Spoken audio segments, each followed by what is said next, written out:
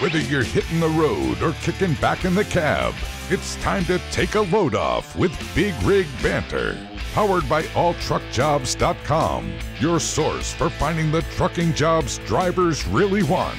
Get ready to shift into gear and let the conversations roll.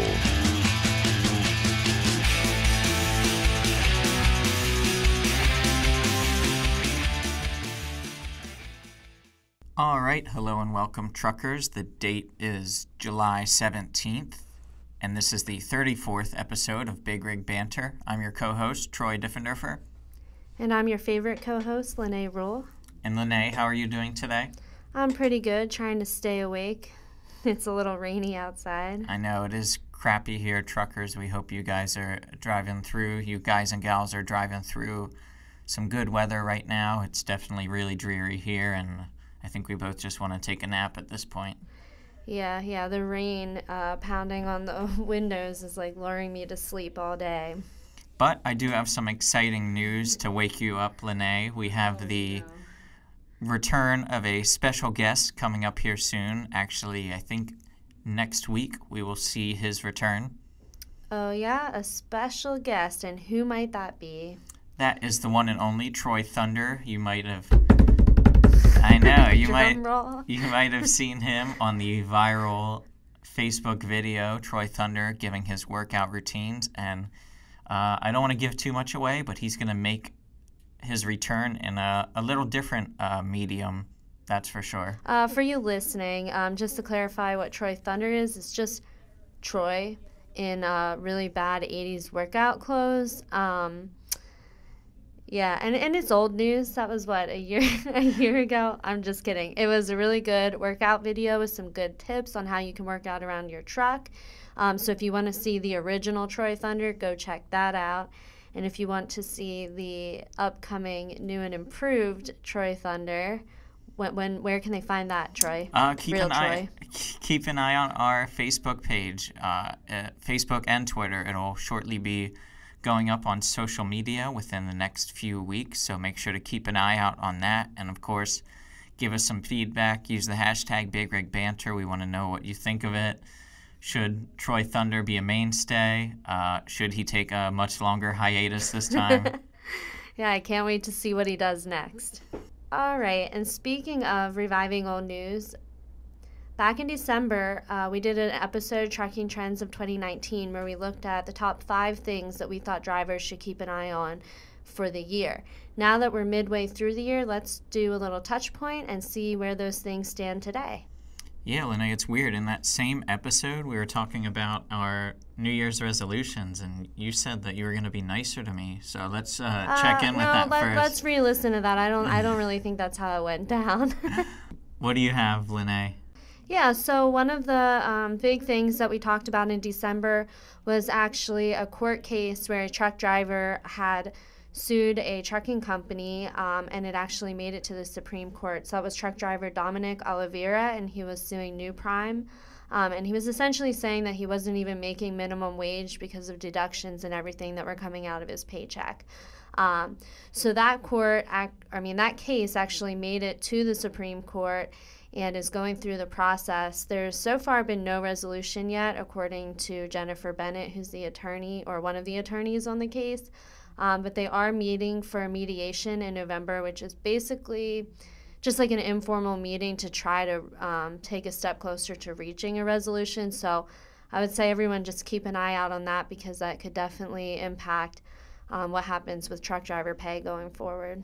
It's crazy to see these uh, Supreme Court cases get drawn out so long, and I mean, these things can take often years. Yeah, I know. I actually, uh, you know, asked um, Jennifer, you know, if it could draw out into the next year, she thinks they'll make, you know, reach a resolution this year, what'll happen. So we'll have to wait and hear back from her on that. But so far, it's probably just a game of wait and see. Awesome. And in that same episode, I talked with Dean Croke. He was from FreightWaves. We had a really good conversation that touched on a bunch of different points. Um, at one point, he said, I think there'll be some wrinkles that need to be ironed out as people move towards the end of 2019 and become compliant completely with ELDs. And, you know, we were talking about the upcoming date, the, Right. de- the December deadline, December 16th, 2019, for every vehicle to have the new ELDs in place. And just this past Monday, FreightWaves actually came out with a study that was really interesting and it compared the um, compliance between national and regional fleets. And it basically just says that when it comes to regional fleets, about 81% of trucks are currently compliant. And then when it comes to nationwide, about 88% are compliant. So, you know, I think 80, 80 or 90% is pretty good. There is six months left, but um, I think they a lot of the points that were made in the article were saying that um, some of these smaller fleets, it's just financially not uh, possible to implement every ELD right away into their rigs, but again, there's that leeway, and they have been giving a deadline, so it'll be interesting to see um, how this pans out. Yeah, it's interesting. Um, it's good to see that the numbers are so high. I would be curious to know if uh, the like or dislike buttons on those uh, ELDs, uh, where they stand um, at now that they're being implemented pretty much across the board. Maybe uh, if uh, anyone listening has a reaction to their current ELD status, you can reach out to us, hashtag Big Rig Banter, and just let us know how that's been working out for you.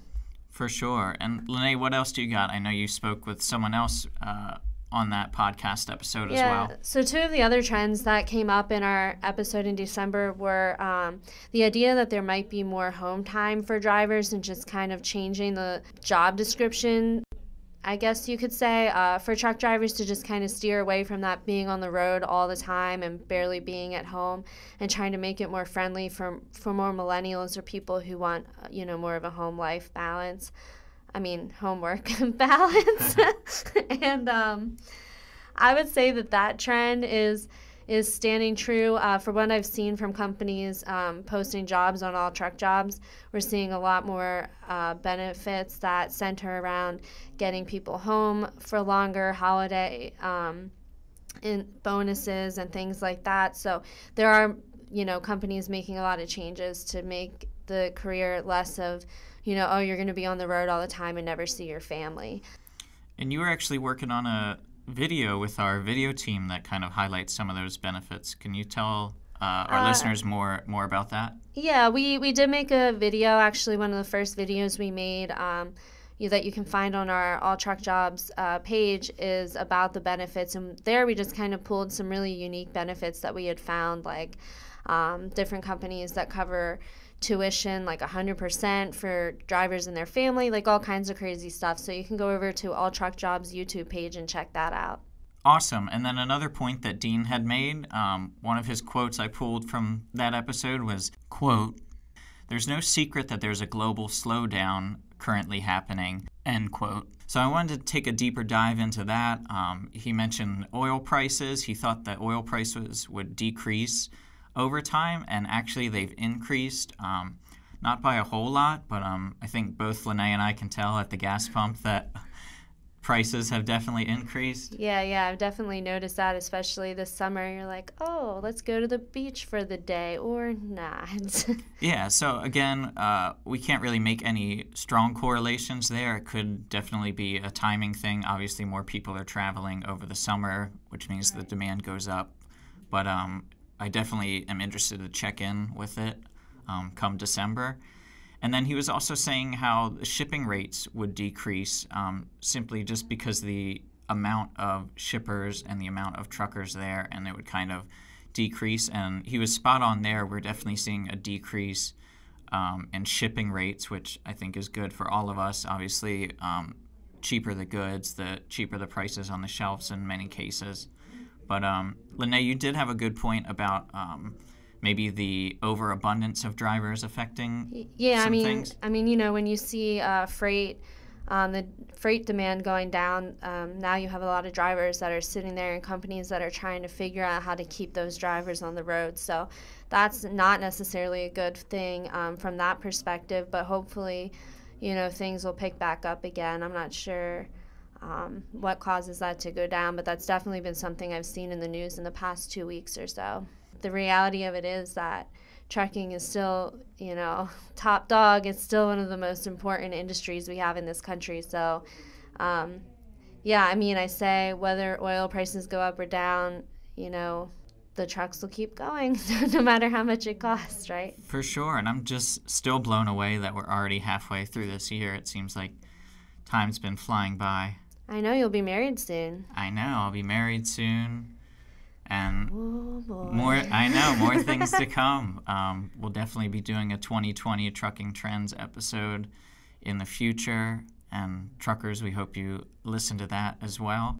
And don't forget, this wonderful podcast is powered by All Truck Jobs. For more trucking resources, visit alltruckjobs.com. And again, truckers, if you're looking for a new job assignment, make sure to check out our website.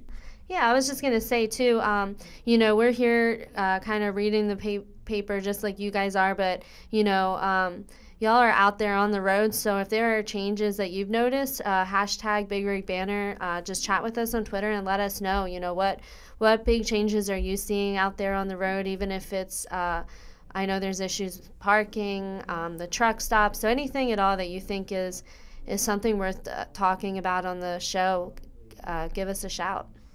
For sure. And once again, truckers, we thank you. Um, keep listening. Uh, keep an eye out for some Troy Thunder in your future. Leave us a review. Exactly. Leave us a review of Troy Thunder as well. but uh, I'm your co host, Troy Diffenderfer, And I'm your favorite co host, Lenay Rule. and this has been Big Rig Banter. Thanks for tuning in to another edition of Big Rig Banter. For your next job, check out alltruckjobs.com, the premier online source for finding the best driver jobs in the country. Browse hundreds of positions by freight or driver type to get back on the road with confidence. Click subscribe to keep the conversations coming. Until next time on Big Rig Banter.